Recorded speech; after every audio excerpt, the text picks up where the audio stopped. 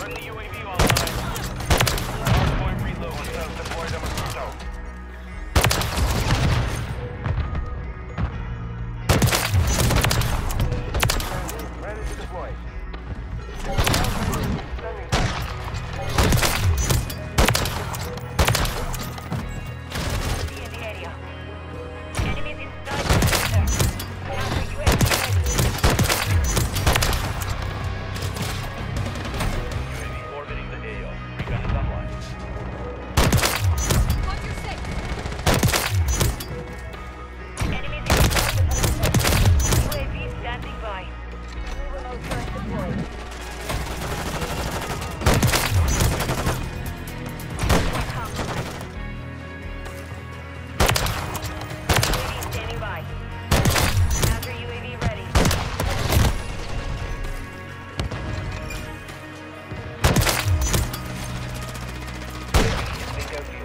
UAV at this time.